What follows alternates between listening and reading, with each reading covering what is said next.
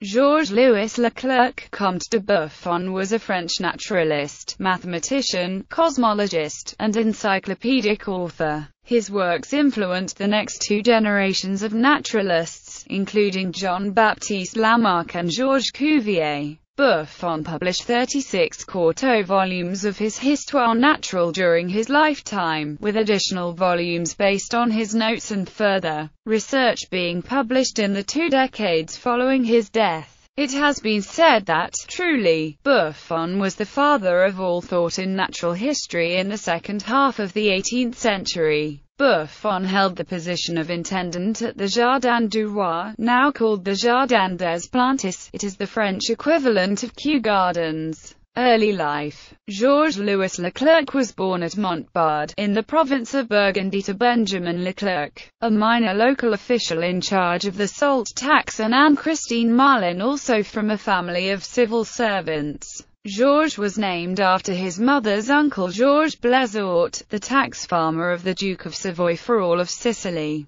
In 1714 Blaisot died childless, leaving a considerable fortune to his seven-year-old godson. Benjamin Leclerc then purchased an estate containing the nearby village of Buffon and moved the family to Dijon acquiring various offices there as well as a seat in the Dijon Parliament. Georges attended the Jesuit College of Godrans in Dijon from the age of 10 onwards. From 1723 to 1726 he then studied law in Dijon, the prerequisite for continuing the family tradition in civil service. In 1728 Georges left Dijon to study mathematics and medicine at the University of Angers in France. At Angers in 1730 he made the acquaintance of the young English Duke of Kingston, who was on his grand tour of Europe, and travelled with him in a large and expensive entourage for a year and a half through southern France and parts of Italy. There are persistent but completely undocumented rumors from this period about duels, abductions and secret trips to England. In 1732 after the death of his mother and before the impending remarriage of his father, Georges left Kingston and returned to Dijon to secure his inheritance. Having added de Buffon to his name while traveling with the Duke, he repurchased the village of Buffon, which his father had meanwhile sold off. With a fortune of about 80,000 livres Buffon set to himself up in Paris to pursue science, at first primarily mathematics and mechanics, and the increase of his fortune. Career In 1732 he moved to Paris, where he made the acquaintance of Voltaire and other intellectuals. He first made his mark in the field of mathematics and, in his Sur le jeu de franc-carreau, introduced differential and integral calculus into probability theory. The problem of Buffon's needle in probability theory is named after him. In 1734 he was admitted to the French Academy of Sciences.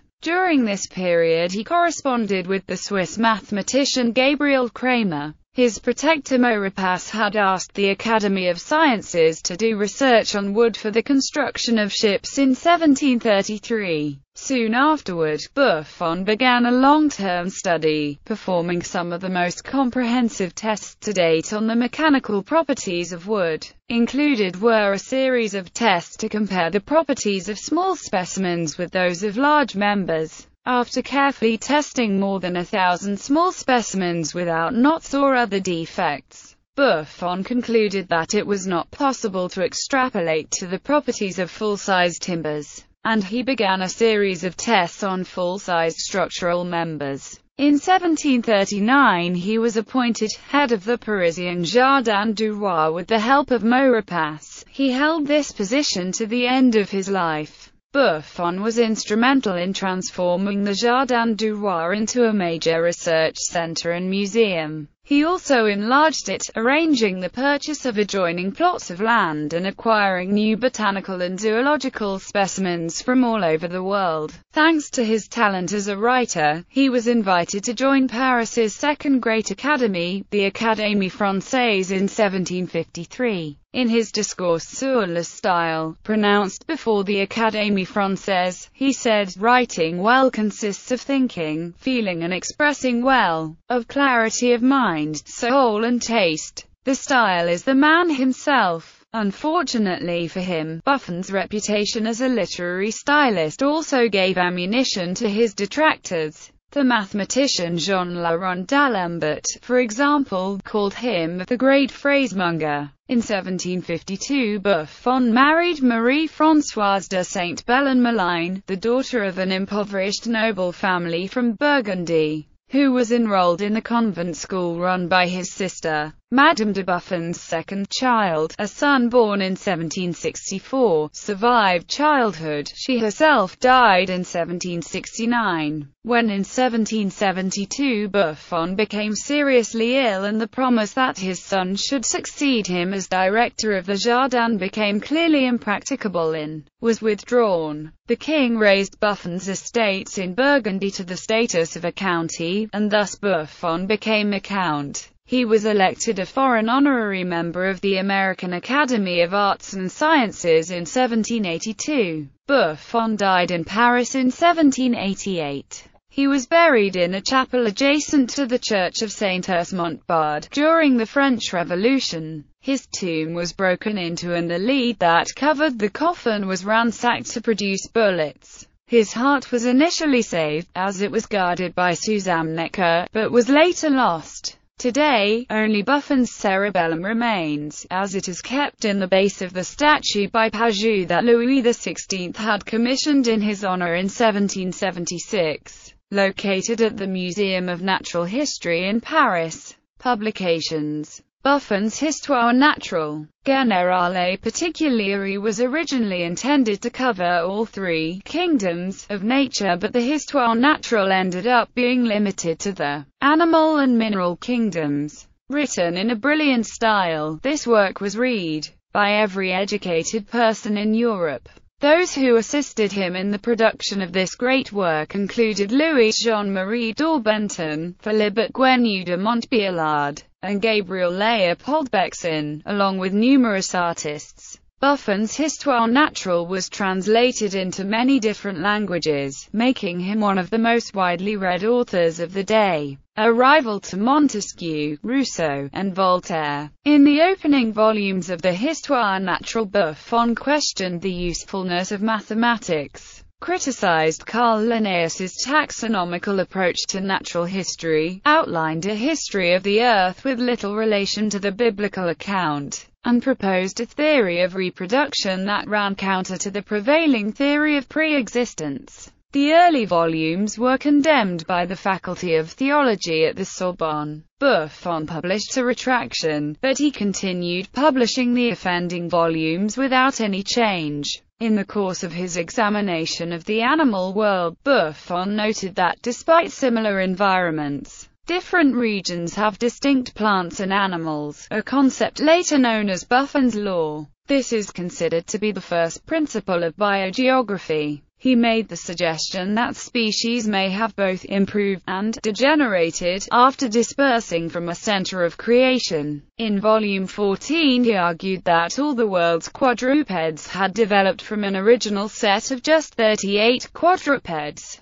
On this basis, he is sometimes considered a transformist and a precursor of Darwin. He also asserted that climate change may have facilitated the worldwide spread of species from their centers of origin. Still, interpreting his ideas on the subject is not simple, for he returned to topics many times in the course of his work. Buffon considered the similarities between humans and apes, but ultimately rejected the possibility of a common descent. At one point, Buffon propounded a theory that nature in the New World was inferior to that of Eurasia. He ascribed this inferiority to the marsh odors and dense forests of the American continent. These remarks so incensed Thomas Jefferson that he dispatched 20 soldiers to the New Hampshire woods to find a bull moose for Buffon as proof of the stature and majesty of American quadrupeds. Buffon later admitted his error. In Les Epoques de la Nature Buffon discussed the origins of the solar system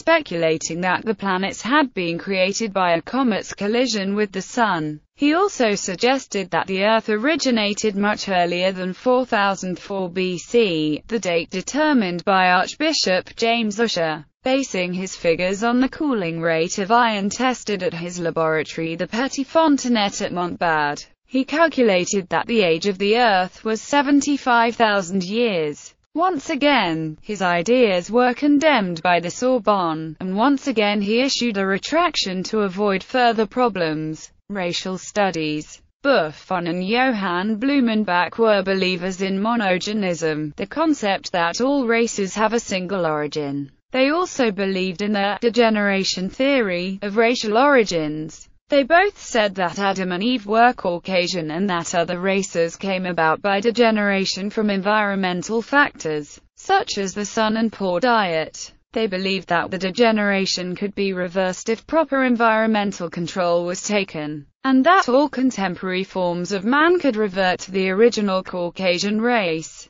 Buffon and Blumenbach claimed that pigmentation arose because of the heat of the tropical sun. They suggested cold wind caused the tawny color of the Eskimos. They thought the Chinese relatively fair-skinned compared to the other Asian stocks because they kept mostly in towns and were protected from environmental factors. Buffon said that food and the mode of living could make races degenerate and distinguish them from the original Caucasian race. Buffon believed humanity was only 6,000 years old. Believing in monogenism, Buffon thought that skin color could change in a single lifetime, depending on the conditions of climate and diet. Buffon was an advocate of the Asia hypothesis. In his Histoire naturelle, he argued that man's birthplace must be in a high-temperate zone, as he believed good climate conditions would breed healthy humans. He hypothesized that the most logical place to look for the first human's existence would be in Asia and around the Caspian Sea region. Relevance to modern biology Charles Darwin wrote in his preliminary historical sketch added to the third edition of On the Origin of Species. Passing over Buffon, with whose writings I am not familiar. Then, from the fourth edition onwards, he amended this to say that, the first author who in modern times has treated it, evolution, in a scientific spirit was Buffon. But as his opinions fluctuated greatly at different periods, and as he does not enter on the causes or means of the transformation of species,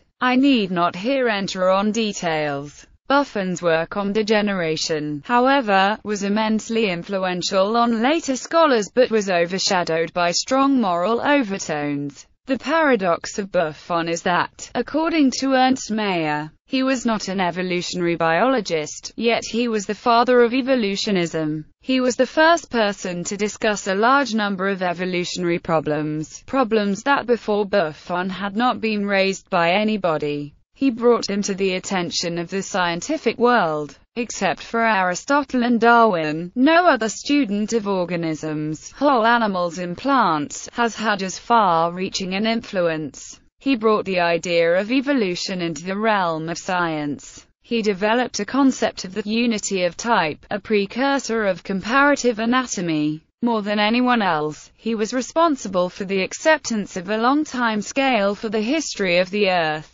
He was one of the first to imply that you get inheritance from your parents, in a description based on similarities between elephants and mammoths. And yet, he hindered evolution by his frequent endorsement of the immutability of species. He provided a criterion of species, fertility among members of a species, that was thought impregnable. Buffon wrote about the concept of struggle for existence. He developed a system of heredity which was similar to Darwin's hypothesis of pangenesis.